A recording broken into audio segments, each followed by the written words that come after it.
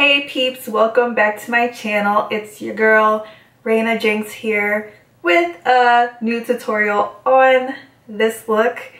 It is, I want to call it my like pink sunrise eyes look. Pink is just the color of the season. Rose gold was last season. I think we transitioned from rose gold into pink more. I don't know. I don't know. Rose gold is still lit, of course. I really, really, really love this look. I love how pink complements my skin tone. So yeah, so I did a tutorial for you guys and um, it will be a voiceover tutorial. So I hope you guys enjoy it. Before I stop talking, make sure you guys, you know, subscribe to your girl, subscribe, and also make sure you like this video and like it, especially if you just want to see more of me. Oh, well, if you want to see more of me, also don't forget to click the bell button so that you don't miss any new uploads. And yeah, I hope you guys enjoyed this. I just feel so pretty today. Oh yeah, this wig. yes, I have a new wig, guys. If you would like to see a review on this wig, make sure you definitely like this video and comment down below so that I know that you guys want to know more about this hair. I love this hair. But yeah, let's just get right into the tutorial, okay? So I'm starting off by moisturizing my face with this 5-in-1 face cream by First Aid Beauty. It has SPF 30, so you know it's really good for protecting your skin. Then I'm going in with my Tarte Rainforest of the Sea setting spray and just going to, you know, prime my face with the setting spray. I'm going to apply primer to my face. I'm using the Milani Prime Shield on my T-zone, or I should just say my forehead, and I'm using the Prime Light everywhere else. The Prime Shield will, you know, mattify the places where I get oily and then the Prime Light will illuminate all the places that I want to illuminate, which is, you see here, my whole face. this foundation is a new buy. I'm using the Becca Ultimate Coverage Complexion Cream and this is in the color Tobacco and I'm just going to apply that with, a, this is actually an eyeshadow brush, but I like to use it to apply my foundation. And then I'm going to use this e.l.f. face brush. What is this e.l.f. brush called? I forgot. Um, but I'm just, you know, uh, dispersing that on my face. And um, yeah, this is a full coverage foundation. It's It covers really, really nicely and it's really creamy and I just love how it feels. It feels like nothing. And I'm realizing it's a little, a tinge too light, but you know, I can deal with just, this like a half a shade lighter than the rest of my uh, skin, so it's pretty good.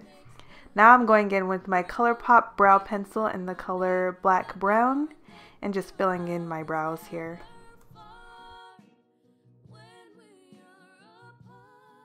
And I'm just cleaning up my brows with the NARS Creamy Radiant Concealer in the color Amande.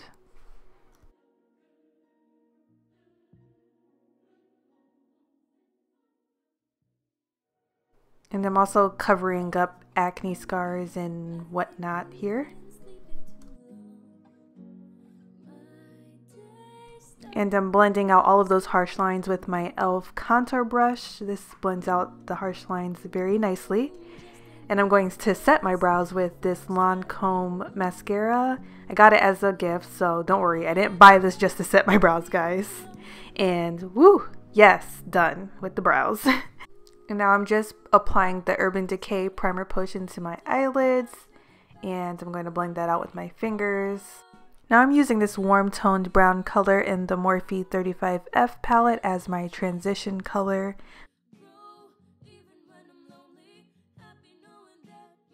And I'm going to this BH Cosmetics Modern Mattes palette for that orange color. And I'm using this Morphe E22 brush and I like it because it's a little tapered but it's still fluffy. So it gets right into the crease and it blends out the color very nicely. I love this brush.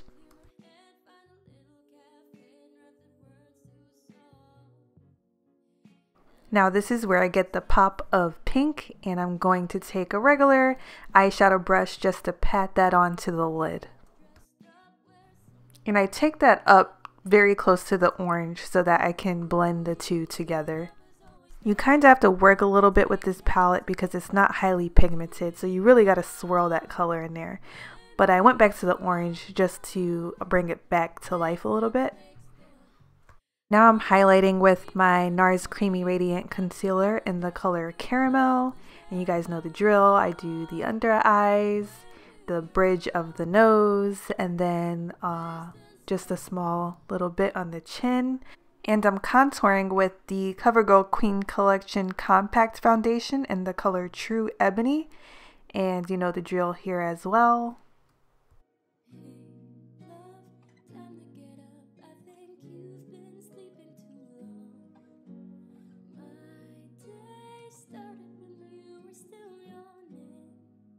And this is actually the Beauty Blender blusher. This is in between the regular Beauty Blender and the mini. So it's that middle sized Beauty Blender. I like it because it gets, you know, just just right in the right places. Now I'm going back to my what I the brush I used for my foundation. This is actually the e.l.f. Ultimate Blending Brush. That's the name of the brush, guys.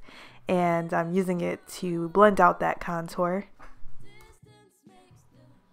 And of course, I forgot to blend out my chin, so I'll do that real quick.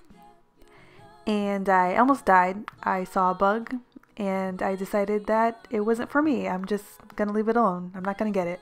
This is the new Laura Mercier setting powder in the color medium deep. It does tone down your highlight a bit, I have to admit, but that's because this is a deep setting powder. So if you're looking for a brightness, this is not it for you. Now I'm going into the darkest color from my Tarteist contour palette to set my contour. And I put too much here, so we're just gonna correct that. I do this all the time. This is like an everyday thing. and I'm contouring my nose as well with the e.l.f. Flawless Concealer Brush. This brush is amazing for my nose contour. I'm lining my waterline for a little bit of brightness under the eye. This is Calling Your Buff by Wet n Wild. And I'm lining right under that in this Jordana liner called Black Point. And I'm going back to that uh, warm tone brown color from the Morphe 35F palette just to kind of shade right under the liner just to bring the look together. And I'm taking this nude tone color to highlight right under the brow from the same palette. I went back to my Tarteist contour palette for the blush. This blush is so pretty for everyday. It's just an everyday nice blush. And for my highlight, I'm using the Wet n Wild Mega Glow Illuminating Palette in the color Catwalk, Catwalk Pink. And spraying that with a little bit of setting spray so I can, you know, get that extra extra bling. This is really, really pretty on top of blush. Uh, it complements any pink blush really well. So I really like this highlight. It's really pretty and very inexpensive as well.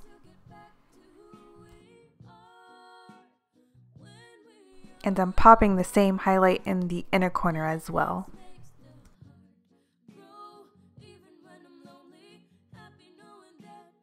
And we're almost done. I am lining my lips with this lippy pencil by ColourPop in the color Bonus Points.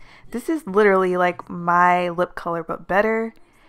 And we're going to go ahead and start off with this Satin Lip Liquid Lipstick by ColourPop.